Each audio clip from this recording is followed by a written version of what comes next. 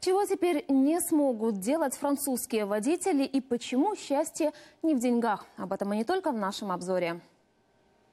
Никакого телефона за рулем. Во Франции водителям запретили пользоваться мобильными гаджетами в автомобиле. Единственное исключение, если машина припаркована на стоянке. А вот за использование мобильного на обочине или при включенном аварийном сигнале водителю грозит штраф в 135 евро и лишение трех очков в водительских правах. Гробницу, которой почти четыре с половиной тысячи лет, обнаружили неподалеку от египетской столицы, на плато Гиза. По мнению археологов, усыпальница принадлежала жрице Хетпет, которая жила во времена правления пятой династии фараонов и была приближенной к тогдашней элите. На стенах сохранились изображения охоты и рыбалки при участии самой жрицы. На данный момент ученые раскопали меньше половины сооружения.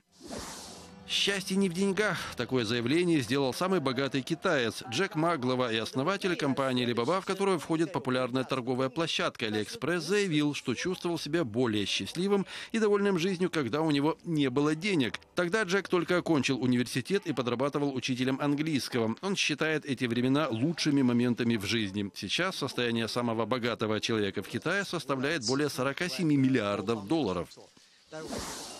Деревенскую Олимпиаду в 58 раз устроили в индийском штате Пенджаб. В программе около полусотни дисциплин. Например, соревнования на слонах, акробатические трюки на мотоциклах и полет на мотодельтаплане. Есть и необычные. Притянуть мотоцикл, держа его зубами за веревку, или без помощи рук пронести плуг, который весит 60 килограммов, или удержать на себе вес авто. В японском городе Саппоро начался традиционный снежный фестиваль.